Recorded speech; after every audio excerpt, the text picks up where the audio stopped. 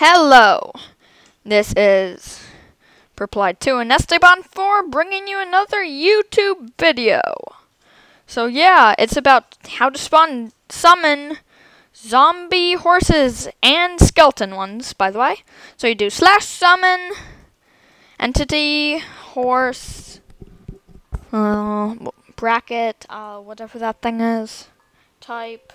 That might be a bracket actually. Colon um, four something tame colon one uh, bracket those weird bracket things. Squiggly lines squiggly lines in the middle sorry about that. Forgot that. And it summons a skeleton horse yeah. So just to tell you I am um you know how Purple Eye 2 mostly does most of the videos we're doing it, I'm doing it on, I am playing on Purple Light 2's thing, so just, I am recording on Purple Light 2, but I'm playing on my computer because mine is really laggy, so that's why we're not recording, and yeah. So, how to summon a zombie horse is slash summon entity horse, squiggly line, space, squiggly line, space, and that, then three, yeah, so you get the point. And then is it tamed? Yeah, that's how to summon it tamed, and you can put stuff on it.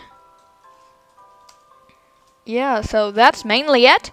And just like bloopers, I guess, maybe not. Boom, bunch of things. Yeah, so you can summon those and if I so I there's a saddle on this one.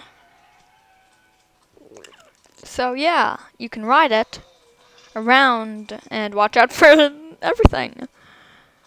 So as you can see there's a temple in the back and we're gonna bring that to you in our next YouTube video.